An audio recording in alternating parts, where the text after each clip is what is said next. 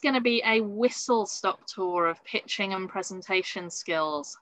Now, the one thing that you must not do is tell us at the end everything that we got wrong.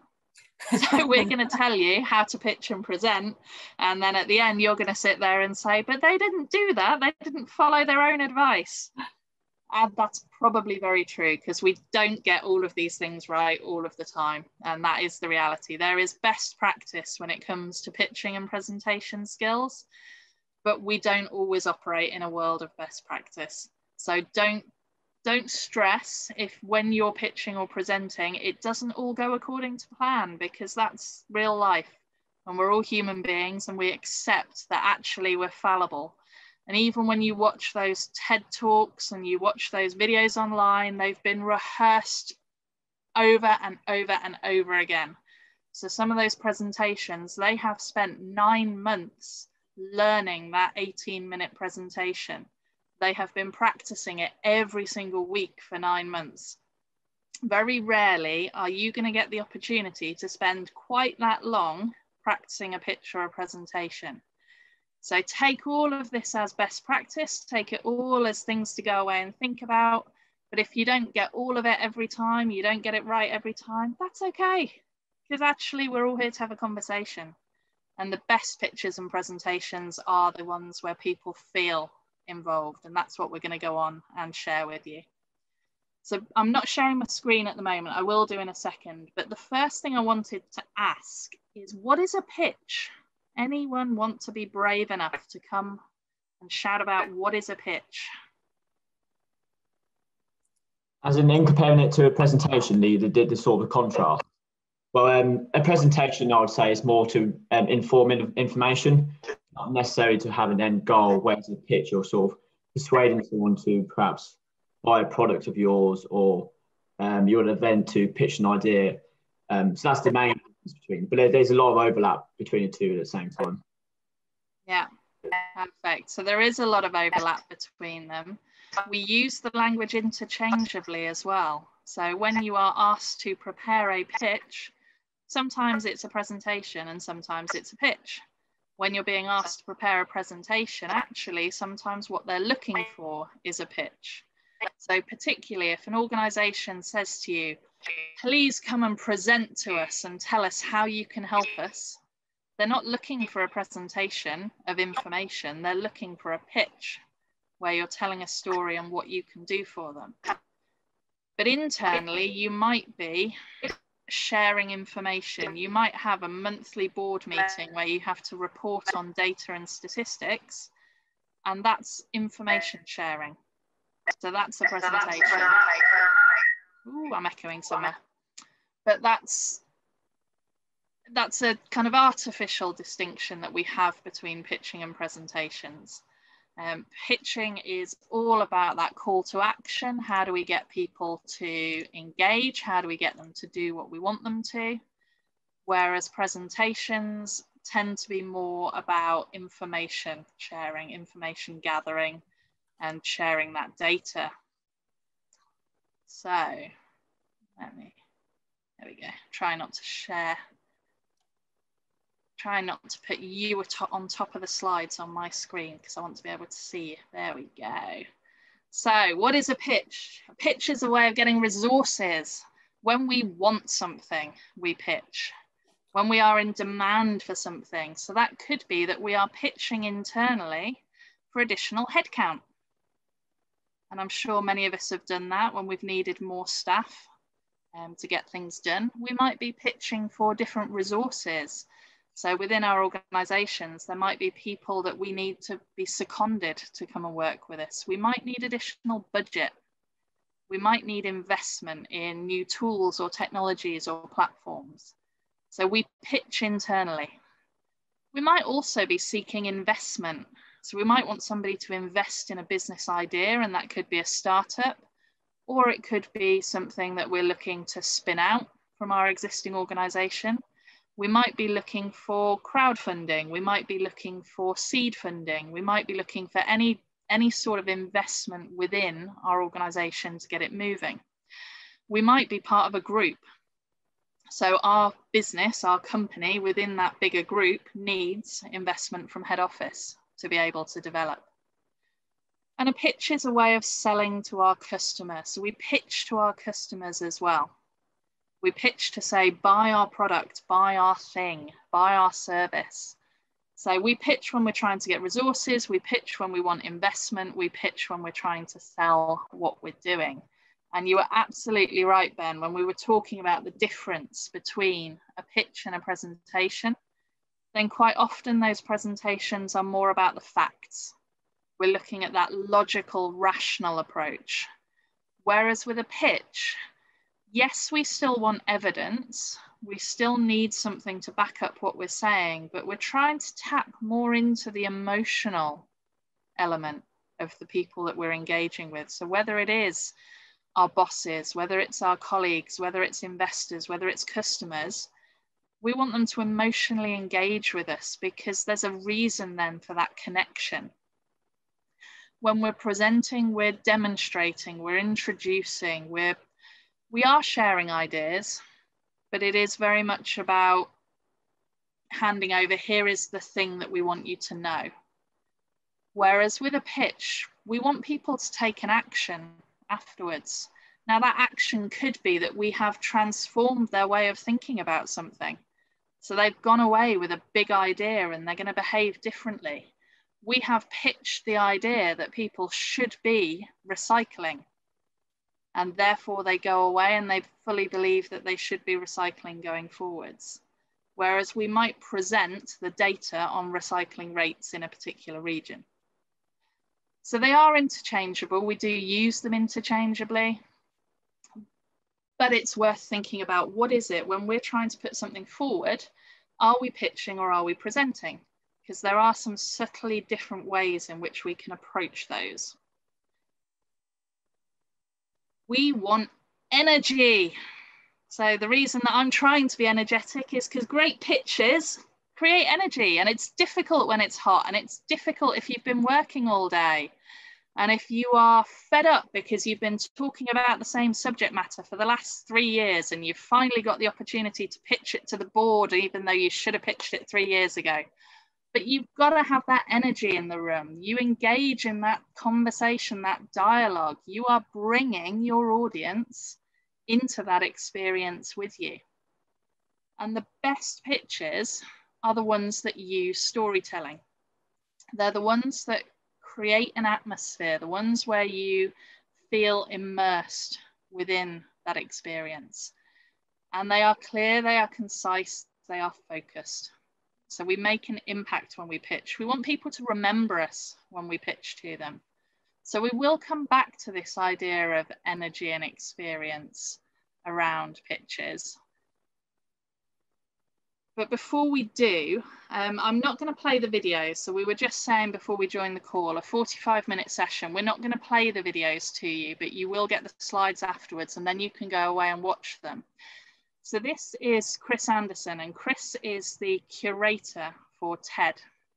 And TED, if you haven't come across it, is a speaker platform for sharing great ideas. So it's been around for um, coming up 20 years now and huge amount of content. TED is the big platform, and then TEDx is the regionalized and localized franchise events that take place. So there is a TEDx Aston, for example. Aston University runs a TEDx event with speakers from the region.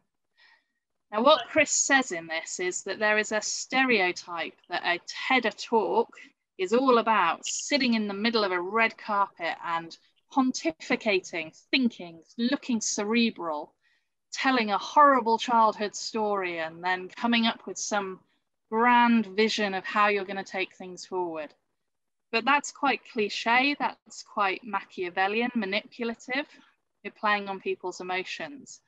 And actually, distilling this seven minute video down, what you get from it is the secret to any great public speaking, any great presentation or pitch is one idea. So what do we do when we try and present? We try and present everything. We try and get as much information as possible into the 15 minute time slot that we've been allocated. When we're pitching, we're trying to tell the entire story of a business startup and what it's going to do. And yet the reality is that the best presentations or pitches boil down to one idea. Now there may be elements that come off that, but it's one crystal simple, clear idea that you can take away from that experience. So if you take nothing else from today's session, then that one idea is the most important thing to walk away with. So every time you're pitching, every time you're presenting, what is the one idea that you want people to walk away remembering? Okay, Yasmin, over to you. Yeah, um, building on what Amy said, um, not on the last slide, but the slide before that about what makes a pitch or presentation memorable um, and what will enable people to remember uh, you as a person, perhaps not just the content that you've delivered. Um, and it goes along with the old saying of um, people won't necessarily remember what you said, but they'll remember how you made them feel. So a presentation that is engaging, that um, brings the audience into what you're trying to say and what you're trying to pitch is is really really crucial. Um, and i know we'll come back to that when we touch on the five e's and how you can do things uh, with techniques such as storytelling um, and bringing people into that experience. Now ultimately um, there are some key elements that are really important when it comes to doing any kind of presentation. So clarity, authenticity, but also being concise. Um, I've got a little story that is linked to these slides here. So some of the slides that we're using have come from uh, different sources, including some of our colleagues who've previously presented on um, presentation skills with our students. Um, and one of our colleagues would really drive this point home with our students about you should have no more than three bullet points on a slide, always three maximum, because you don't want to overwhelm people by uh, death by PowerPoint.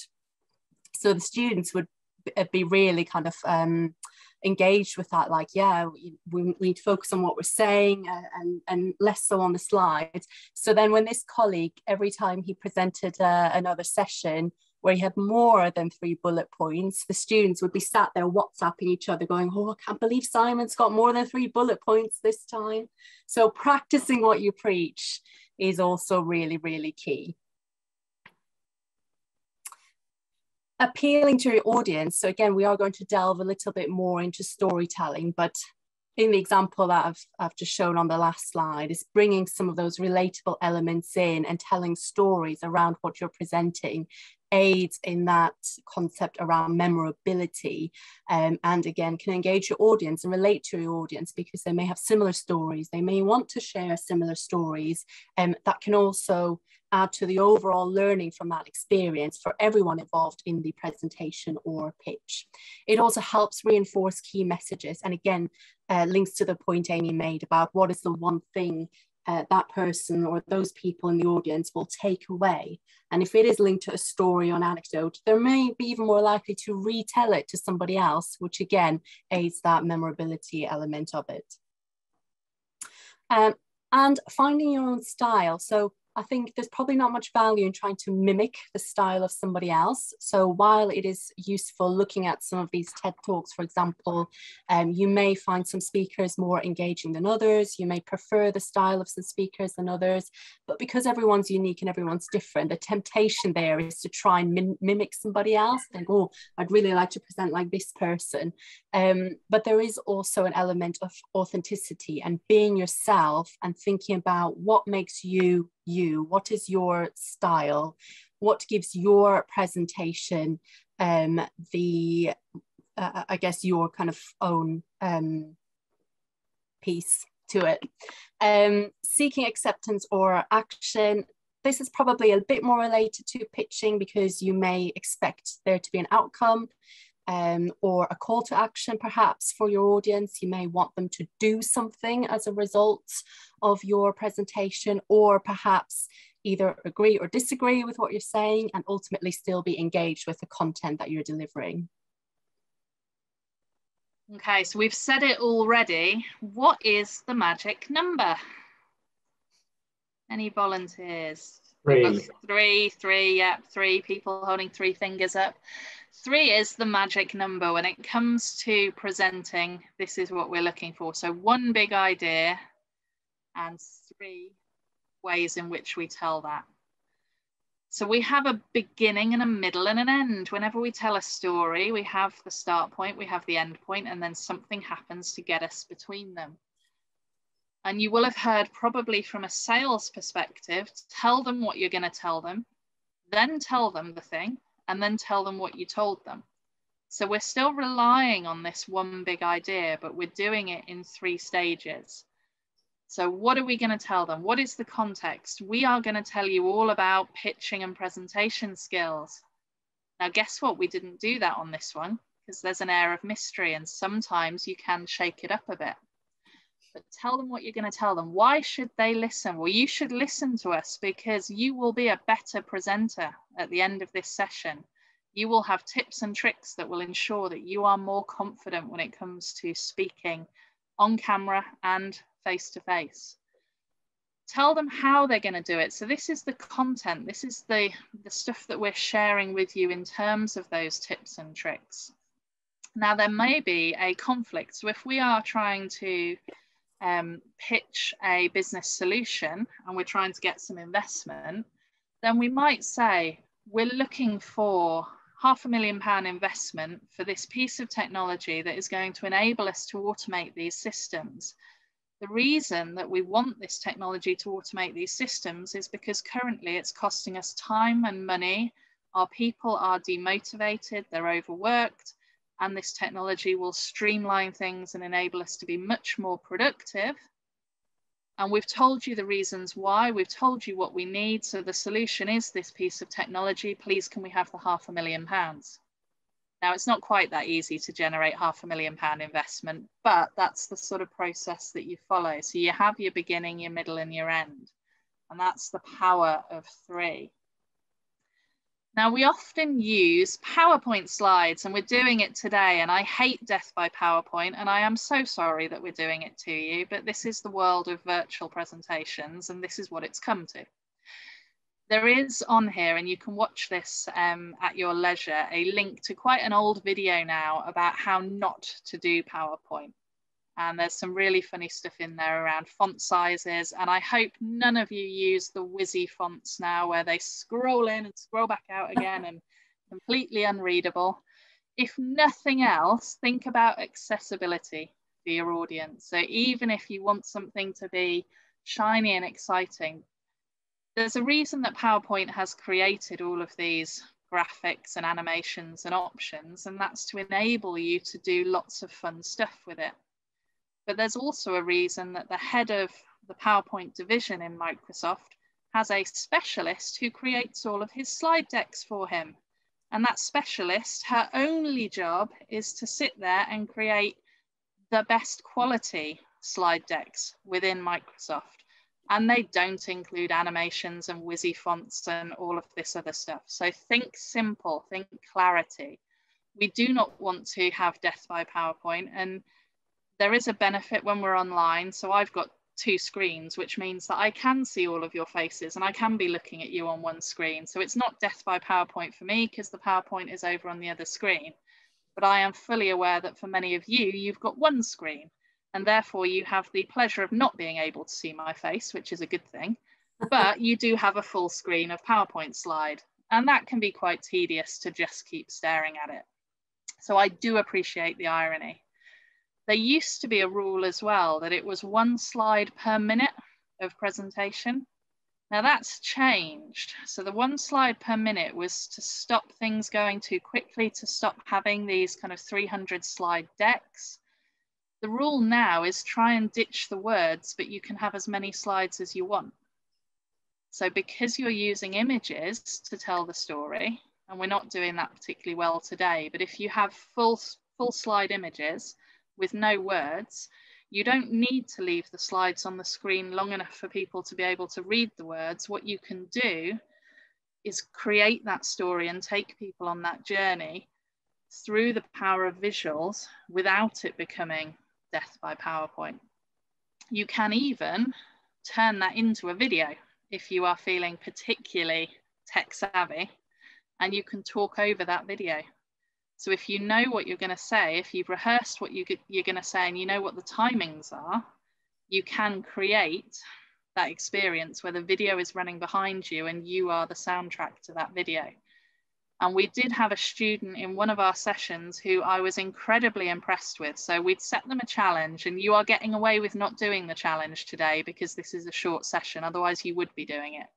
But we had set them the challenge of coming up with a pitch for an app to solve a real world problem.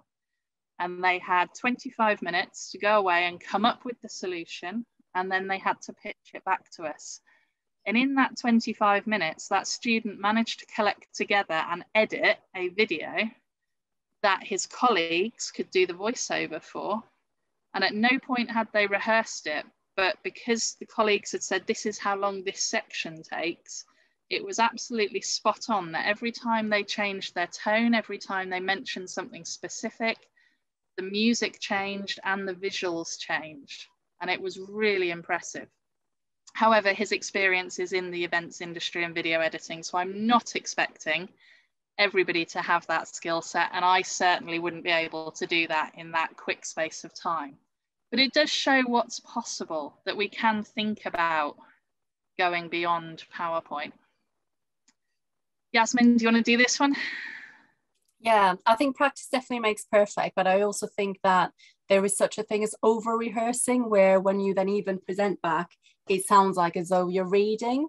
So I think rehearse, but I think trying to rehearse without a script is really important. So having your key points, knowing what you want to cover, what that main idea or that main takeaway is, having your structure ready, um, but avoid full scripting, I would say, because then as you read it out in rehearsal, you are essentially memorizing lines rather than uh, practicing with your own style, your own flow and pace based on the ideas that you have.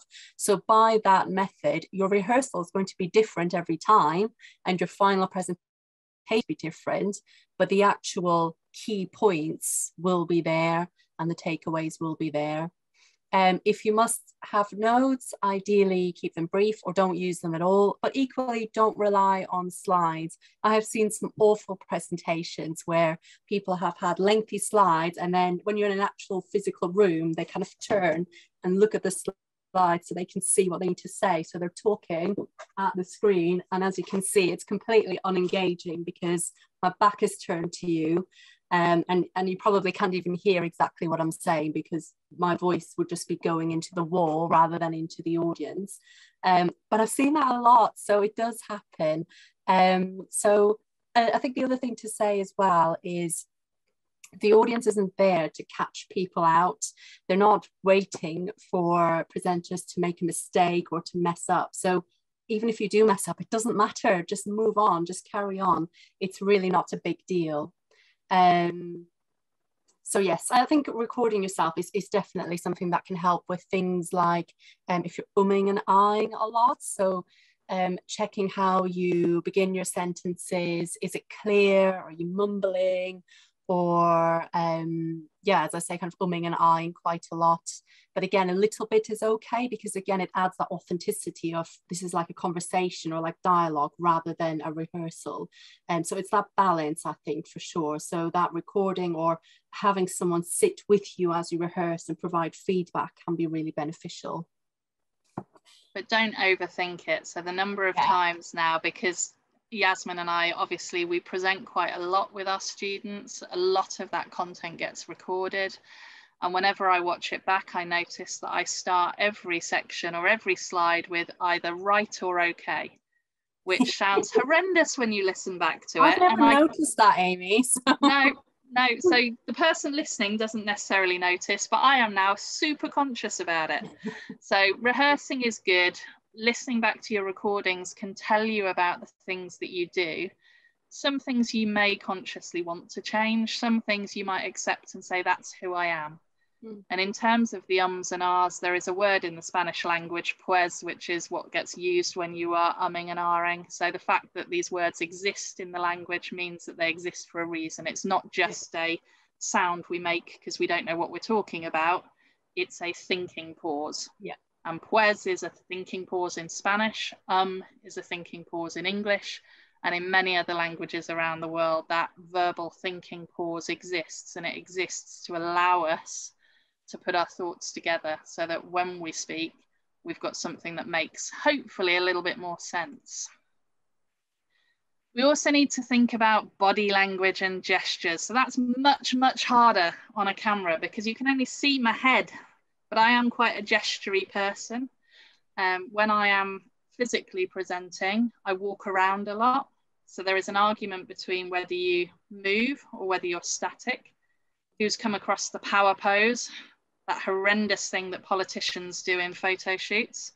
We've all seen the power pose, and then we've got the holding the hands together that we do in front of ourselves.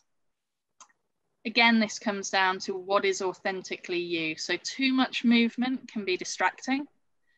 Too much gesturing. So there is a gesture box which runs from kind of about here, chin level, goes down the side of your body and then cuts off at about waist level. So that if you imagine a box that goes from your chin around your torso and down to your waist, that is your gesture box. And if you're gesturing within that box, then you are showing passion, you're showing that you are committed to what you're saying, you're enthusiastic. If you're gesturing outside of that box, then why should I trust you? Because you're a, a strange person who doesn't know what you're talking about. So yes, we can do some quite flamboyant gestures and that's absolutely fine when it's our personality and we're presenting, but we need to think about how does that come across to the audience. So within that gesture box tends to be quite a safe space. The occasional foray out of that gesture box is fine. Spending all of your time with your hands everywhere and your feet moving around and fidgeting, that's going to distract from what you're saying. So think about that body language. Think about how you come across as credible and authentic. And planting your feet as well. So when we stand up and present, which is what a lot of us used to be used to doing. So in pre-COVID times, we would stand up at the front of the room and we would present to our colleagues or we would present to investors. You plant your feet, you position yourself and you present we're all sitting in these awful chairs at home now, or even if we're back in the office, some of the chairs are horrendous, or we might be on garden furniture or sat on a bed. And that doesn't inspire us to put across that credible, confident persona. So if we plant our feet flat on the floor, that at least gives us some sort of grounding that we can work with. If we try and sit up straight, and I'm awful for this, I slouch my way through, but if we sit up straight then we will come across as more confident. Positioning around the camera as well. So again, do as I say, not as I do. I sit in front of a window, which means that the light reflection on me is awful. So I look like a ghost. So if you can find somewhere where you get a better light reflection or invest in one of the ring lights, if you're going to be doing a lot of it online, that's really worthwhile to do think about your tone of voice as well. So, how are you projecting? If you are standing in a massive room, you're obviously going to be projecting very differently to if you are in a very small space one on one. But you still need to consider what that projection looks and feels like. Where are you pausing? So, pauses can be really impactful. You can make significant impact with what you're saying when you slow things down. And also when you leave time for people to think. And that's a really long time. So I'm going to count to three in silence, and you're going to get very uncomfortable.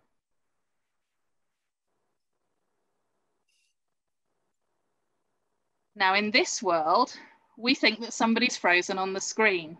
So we've got to be a little bit careful of how we use those silences in the virtual space. But they are really important. If we're trying to emphasize a point, then we don't have to always be speaking at speed. And quite often when we're nervous, what we do is we speed up. And almost everybody gets nervous when they present. So anybody who says they don't has had a lot of practice or is lying. But almost everybody has some sense of nerves or anxiety before they get up in front of you.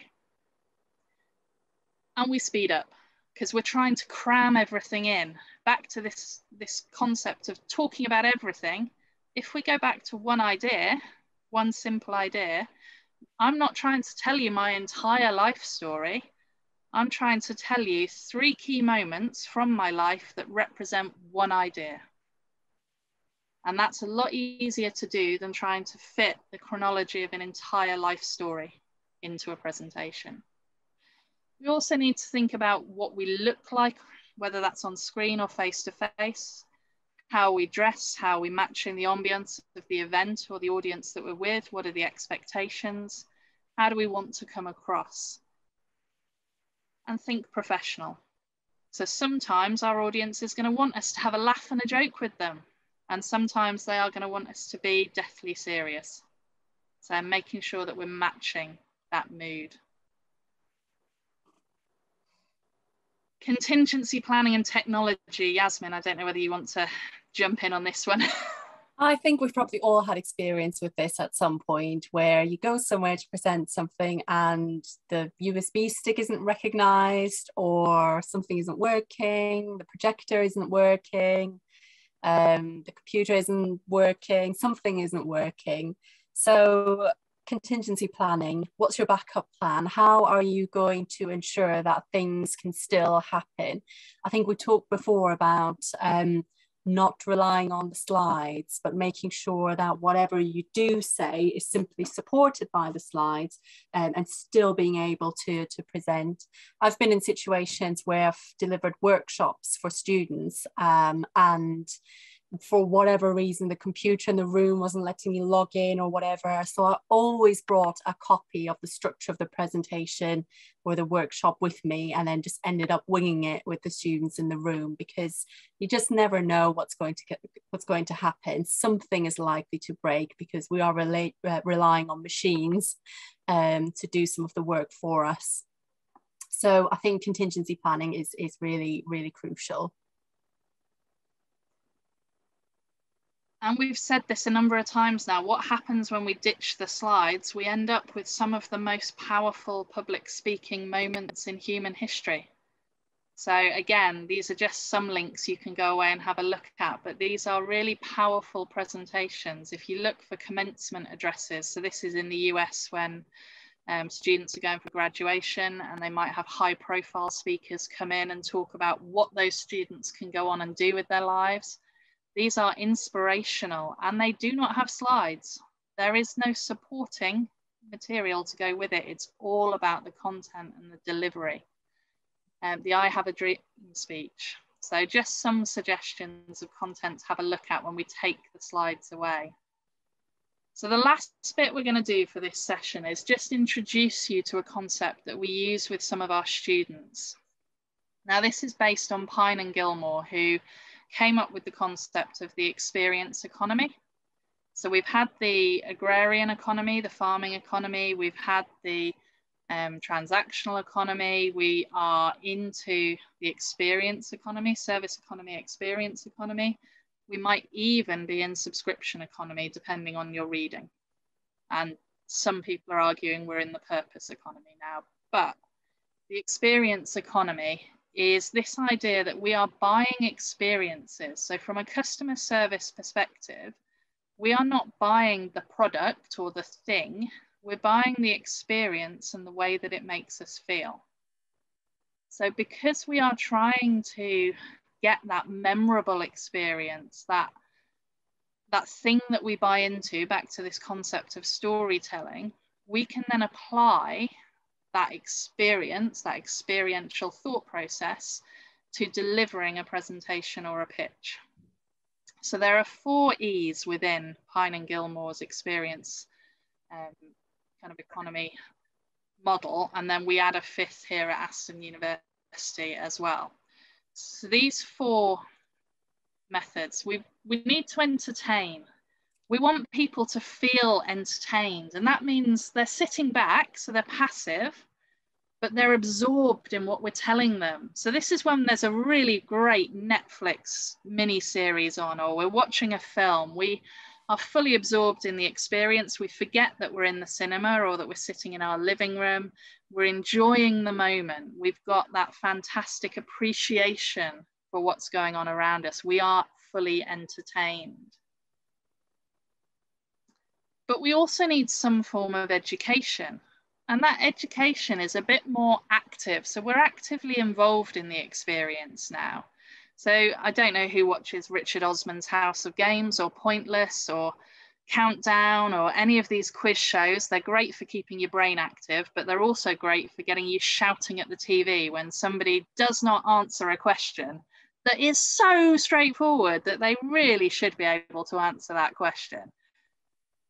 That's the educational side. We are learning something from the process. And when it comes to pitches or presentations, we can educate by including quizzes, by asking questions, by saying, Did you know that? So we're thinking about how do we ensure that our audience is learning something from this experience? So they're entertained by this experience, they're learning something from this experience. We might even be able to get that sense of escapism so that escapism, we are fully involving the audience in the experience. Now we're not doing that with you today, but we could be getting you to role play. Everybody hates the phrase role play, right? But role play is one way in which we create that sense of escapism.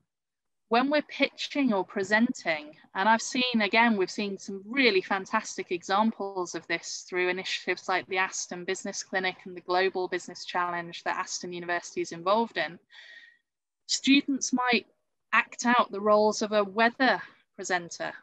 So they are the weather presenter and they're pointing out the different elements for the client pitch are the different parts of the country and the different weather icons.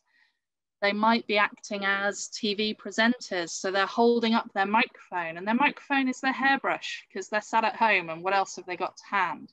But you feel that sense of escapism you really feel that they're handing, and now I'm handing over to the studio, and somebody else picks up the microphone and they are in the studio. So, how do we create that sense of escapism where we feel as if we're on that journey? And we can do it through telling stories as well. So, quite often with startups, you'll hear the founder story. So, they will tell you how they came up with that idea in the first place, where that passion came from in order to solve the problem that they've identified. And they'll tell you about the, ro- the roadblocks they hit on the way, the obstacles, and you will feel the pain when they tell you that they nearly lost their house because the business didn't get off the ground as quickly as they expected and they owed some money. And then when they stood in front of the investment panel and they'd forgotten their slides and the product that they'd brought had melted in the car on the way there, but they managed to overcome that and they've now got the investment to be able to move forward. You feel that experience, you feel like you're on the journey with them, you escape into that, that realm, that story with them. And then the aesthetic. So, yes, aesthetic begins with an A, but we're talking about the four E's here, so we'll give it an E for the purpose of this. So, aesthetic, we we're talking about the senses. So, what you see, what you hear, what you smell, what you taste, what you feel. And again, that's harder to do in the virtual world, but not impossible. So, you could all have the same virtual background. So, if you are pitching, then four of you pitching on the screen, you all have the same virtual background. That creates a sense of togetherness. You might use imagery, slides, PowerPoints, Prezis, videos. So you might use these different visual media. You could send gift boxes in advance. So Yasmin's just in a conference where they had some fantastic goodies beforehand and afterwards. I was very jealous. Yeah, it was really good. They sent um so about a week before the it wasn't really a conference, it was like a three-day workshop. Um they sent a box with um, a notebook, some post-its, a little succulent plant, a mug, a pen. And then after the workshop, there was a celebration event about a week later. So they sent a little Prosecco and a, an actual glass flute, not just a plastic one, a proper glass flute in a box as well. So that was quite quite snazzy, but we don't all have the budget to do that sort of thing, sadly. Definitely not. But you can create, you can bring those senses to life. You could ask everybody to make a cup of coffee before they join the call. And then you can talk about the smell of freshly brewed coffee, and people have got the aroma in the room with them. Yeah. So it's how do you create that sense of aesthetic? How do you bring that to life? And you can do that through sound, through sight, through touch, through smell, and you can do it through description. So you don't necessarily have to create the smell. We we know that supermarkets have the smell of freshly baked bread to enable us to feel starving and buy bread and everything else when we're in the supermarket. You don't have to have that smell. You can talk about that smell, talk about the bed, bread baking, talk about how the crunch of the crust when it breaks, and now you're all hungry and want to go and have lunch. So we will wrap it up here. The fifth E that Dr. Eleanor Vitrano, who's one of our colleagues here at Aston, has added to this is around team spirit. So this is particularly relevant when you are presenting as a group of people rather than as an individual. What do you do to ensure that you come across as a collective and not as five people who've individually rehearsed your own bits of the presentation and not had time to see what anybody else is saying? So that is how do you look like a team? How do you present like a team? How do you manage the transitions and the handovers between each other so that you come across as a coherent group of people rather than an individual? So if you're putting together a pitch or a presentation, then those are the five E's that you can go through as a checklist. Now we were going to make you do some pitches on camera, but we are running out of time. So you get away with not having to pitch to your colleagues on camera, but go away and practice these skills. Please do try them out. Let us know what you think. And in summary, journey. So we said take one big thing away from that, and that is the one big idea. If you can hold more than one big thing in your mind and you can hold three, then let's go with the framing the context, the journey. What is the story that you are telling? What's the context of this pitch or this presentation? Depth, not breadth. So focus on that one big idea. Go deep rather than going broad. And memorize, don't read. So either ad lib or put the effort in to memorize. What you don't want to do is get stuck in that valley of awkwardness where you've started to memorize, but then you forget halfway through and you haven't got the note cards to help see you through it. So either focus on ad libbing or focus on memorizing. But if you're going to put the time into memorizing, then really put the time in. And there's a really interesting article. It's from 2013, so it's quite a long time ago, but it talks about how to give that killer presentation based on TED. And the other thing, we have got some other links in the slides that we will share with you as well. So thank you so much for joining us on what is one of the hottest days of the year and incredibly sticky and uncomfortable. It's been a real pleasure having you joining us on camera and taking part. We would have um, made you do some group exercises, but firstly, it is quite hot, and secondly, it is only a short session. But if you have got any questions or there's anything that you want to ask us, we're happy to stick around for another five minutes and take that. Otherwise, feel free to go and enjoy your lunch breaks. Thank you, everyone.